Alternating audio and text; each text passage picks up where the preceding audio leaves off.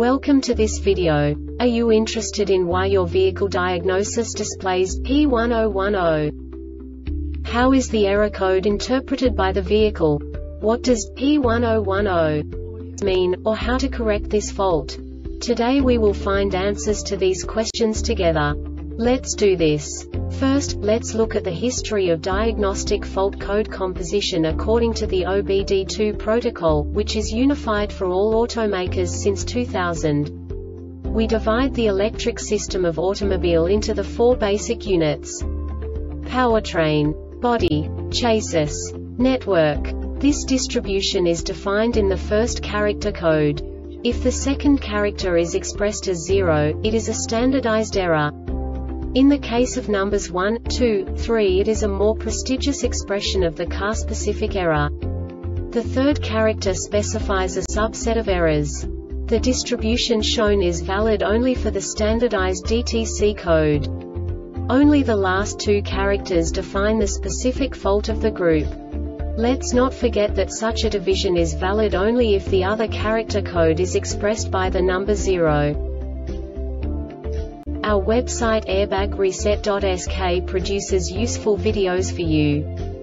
You do not have to go through the OBD2 protocol anymore to know how to troubleshoot any car breakdown. You will find all the diagnostic codes that can be diagnosed in a Pontiac vehicles. Also many other useful things. The following demonstration will help you look into the world of software for car control units. You unbelievably can move the video a bit further. The error code is split into two bytes consisting of 16 bits. One bit is the basic unit that each computer works with. The bit has two logical states. 0, low level, 1, high level. By combining the first two bits, the basic character of the error code is expressed. The next two bits again determine the second character. The last beat styles of the first byte define the third character of the code. The second byte is composed of a combination of 8 bits. The first 4 bits determine the fourth character of the code. And the combination of the last 4 bits defines the fifth character. A single byte conceals 256 possible combinations. We now know in what way the diagnostic tool translates the received information into a more comprehensible format. The number itself does not make sense to us if we cannot assign information about it to what it actually expresses.